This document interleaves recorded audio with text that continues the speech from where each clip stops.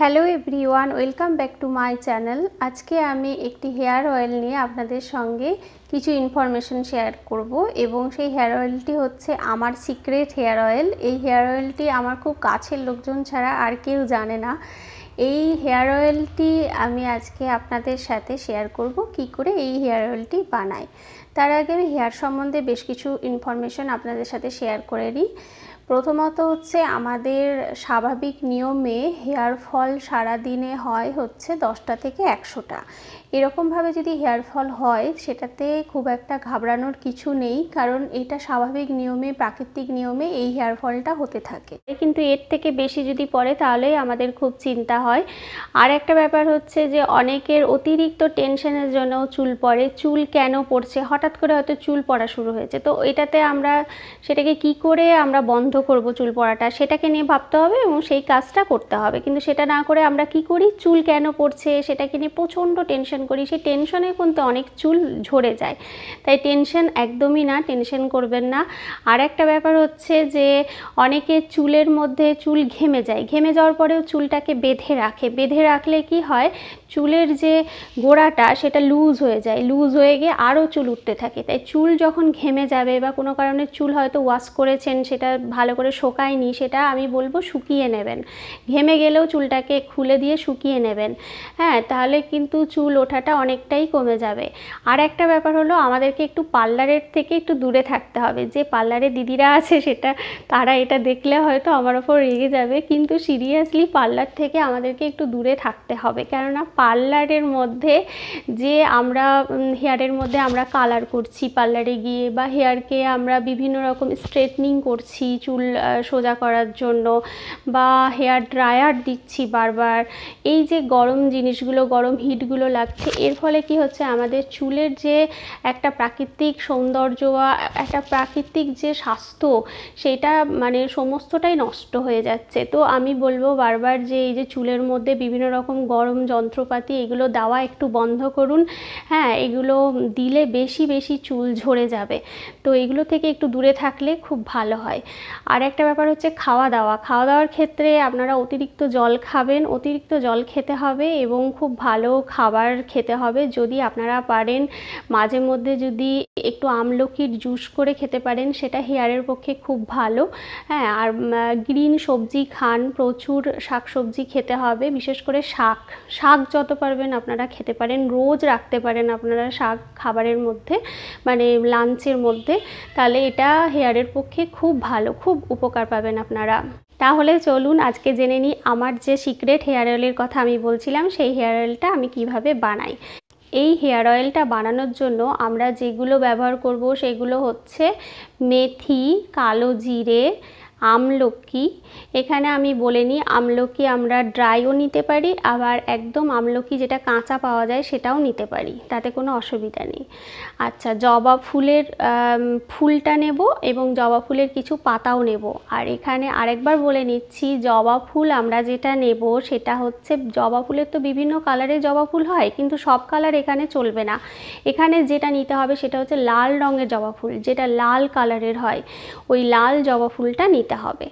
আচ্ছা তারপর আমরা নেব নিম পাতা কারি পাতা আর এখানে নারকেল তেল ইউজ করব। নারকেল তেল এখানে আমরা যেটা ইউজ করব, সেখানে আমরা যেটা সুগন্ধওয়ালা নারকেল তেল পাওয়া যায় এখন বাজারে বিভিন্ন রকম, কিন্তু ওগুলো ঠিক না। ওগুলোর মধ্যে কিছু না কিছু কেমিক্যাল তো থাকেই।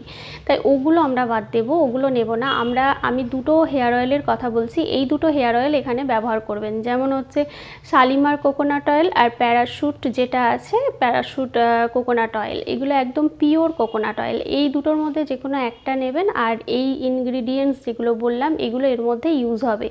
কীভাবে এটা ইউজ হবে সেটা আমি এখন বলছি। প্রথমে একটা গ্যাস ওভেনের মধ্যে আমরা একটা লোহার পাত্র নেব। লোহার কড়াইও নিতে পারি, লোহার যে কোনো পাত্র নেব। এটা লোহার পাত্রেই খুব ভালোভাবে হবে। লোহার পাত্রে আমি যদি পাঁচশো এমএল এখানে অয়েল দিই, পাঁচশো এমএল কোকোনাট অয়েল দিলাম, তার সঙ্গে আমি এখানে জবা ফুল দেবো, পাঁচ থেকে ছটা জবা ফুল। জবা ফুলের পাতা দেবো সাত থেকে আটটা। আচ্ছা এর মধ্যে আমি দিচ্ছি কারি পাতা। কারি পাতাও আপনি তিন চারটা স্টিক নিতে পারেন কারি পাতা। নিম পাতাও সেম তিন চারটা নিলেন। এখানে একটু কম বেশি হলে কোনো প্রবলেম না। এখানে জাস্ট যে ইনগ্রিডিয়েন্টসগুলো বলছি সেগুলো এইভাবেই নেবেন। একটু কম বেশি হলে কোনো প্রবলেম হয় না। আমলকি নেবেন এখানে চার থেকে পাঁচটা। মেথি নেবেন চার চামচ। কালো জিরে নেবেন চার চার চামচ। কড়াইটা বসাবেন, তখনই নারকেল তেল দেবেন। নারকেল তেলটা দেওয়ার পরেই সমস্ত রকম ইনগ্রিডিয়েন্টস যেগুলো বললাম, এগুলো দিয়ে দেবেন।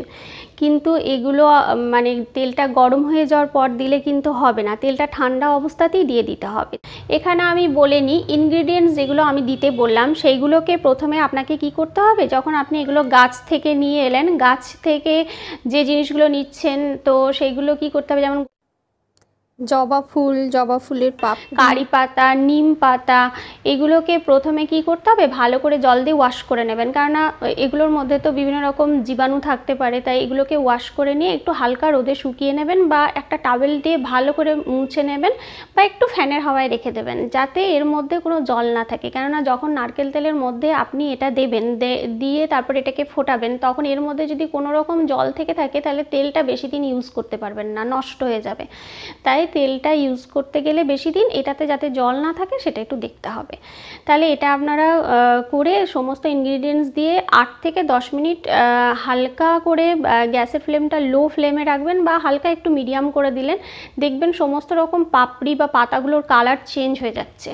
জবা ফুলের পাপড়ি এবং নিম পাতার যে কালারগুলো সব চেঞ্জ হয়ে যাবে, একটু কালো কালো টাইপের হয়ে যাবে, তখন এটাকে ঠান্ডা করতে দেবেন। ঠান্ডা হয়ে গেলে এটাকে একটা পরিষ্কার কটন কাপড় দিয়ে ভালো করে নিকড়ে নিতে হবে। ভালো করে নিকড়ে নিয়ে তারপর এটাকে আপনারা একটা কাঁচের জারের মধ্যে রাখবেন। অন্য কোনো পাত্রে মানে রাখবেন না, কাঁচের জারেই রাখবেন। এটা রেখে আপনারা অনেক দিন ইউজ করতে পারবেন। হ্যাঁ আর প্রত্যেকটা জিনিস আপনারা একটু কম বেশি যদি হয়ে যায়, তাতে কোনো অসুবিধা নেই।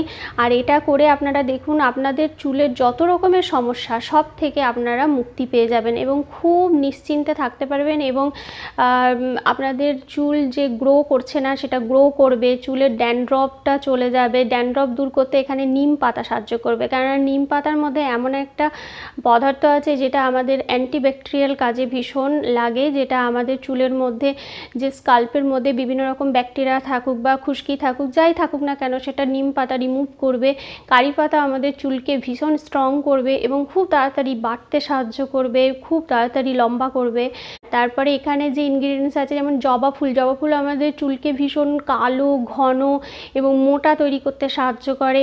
তাছাড়া আমলা আমলা আমাদের চুলকে যে আমলকির কথা বলছি, সেটা আমার চুলকে, আমাদের চুলকে ভীষণভাবে স্ট্রং করে, একদম গোড়া থেকে স্ট্রং করবে। তারপরে চুলের যে ডগাগুলো ফেটে যায়, সেই ফাটাটা বন্ধ করবে। এই সমস্ত যে ইনগ্রিডিয়েন্টসের কথা আমি বললাম, প্রত্যেকটার কিছু না কিছু বেনিফিটস আছে। এখন প্রশ্ন হলো, এই হেয়ার অয়েলটা আপনারা করলেন, কিন্তু ইউজ করবেন কীভাবে, তাই তো? কিন্তু ইউজ করবেন কীভাবে সেটাও আমি বলে দেব।